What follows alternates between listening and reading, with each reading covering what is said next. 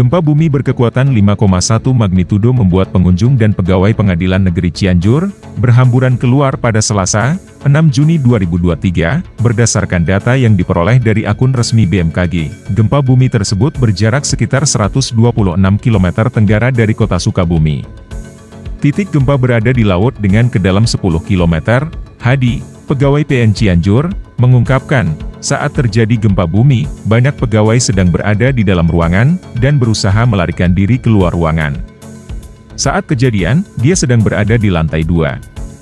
Sehingga, getarannya sangat terasa. Ia mengungkapkan, getaran gempa bumi tersebut sempat membuat sejumlah pegawai lainnya panik, dan berhamburan keluar ruangan untuk menyelamatkan diri. Tidak ada barang atau fasilitas kantor yang rusak getaran gempa bumi tersebut. Saat ini semuanya sudah kembali masuk ke ruangan tempat bekerjanya masing-masing.